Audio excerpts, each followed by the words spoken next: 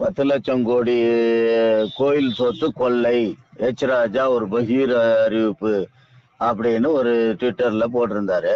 அதாவது இந்த கோயில் சொத்து கொள்ளைன்றது இந்த காலத்துல இல்ல. அந்த காலத்துல இருந்து நடந்துகிட்டு தான் இருக்குது. ஆனா வந்து இந்த குறிப்பிட்ட ஒரு ஐம்பது ஆண்டு காலத்துல வந்து இந்த கோயில் சொத்துன்றது கோயில்னா எல்லாருக்கும் ஒரு பயம் இருக்கும். கடவுள் கண்ணை குத்திருவாரு கடவுள் பாத்துக்குவாரு. கோயில் சொத்தை தின்னவன் சர்வநாசம் குலநாசம் அப்படின்லாம்.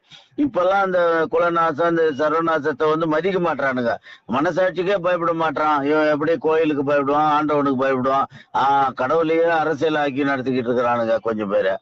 அதனால வந்து இப்படி இருக்கு. ஆனா இப்போ வந்து திடீர்னு நம்ம நேத்து முந்தா நாள் எல்லாம் இந்த ஒரு மாசமா கூட கொஞ்சம் கொஞ்சம் பாத்துக்கிட்டு இருக்கோம். அங்க ஒரு ரெண்டாயிரம் கோடி சொத்து மீட்பு தொண்ணூத்தி ஒன்பது ஏக்கர் ஆக்கிரமிப்பு இந்த இங்க ஒரு இவ்வளவு மீட்பு அந்த நேத்து குயின்ஸ்லாண்டுல இந்த ஒன்பதாயிரம் அபராதம் அது பல கோடி ரூபாய் சொத்துக்கள் மீட்பு அப்படின்னு.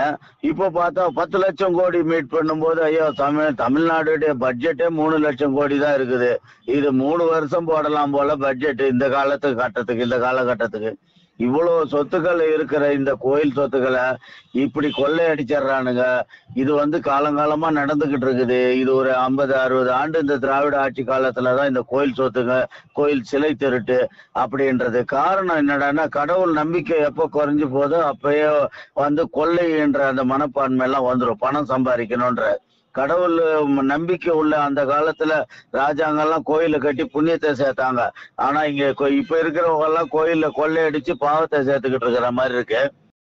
எச் ராஜா குறிப்பிட்டது போல இந்த மாதிரி பத்து லட்சம் கோடி சொத்துக்களை மீட்குவதற்கு நமது மாண்புமிகு நீதி அரசர்கள் ஏதாவது உத்தரவுகளை இட்டு இந்த மாதிரி கொஞ்சம் ந- நல்ல மனசாட்சி உள்ள நீதி அரசர்கள்லாம் வந்து சேர்ந்து இருக்கிறதுனால தான் இப்ப கோயில் சொத்துக்கள் ஒண்ணு ஒன்னா மீட்கப்படுவது என்பதுதான் இப்போ நிஜம்.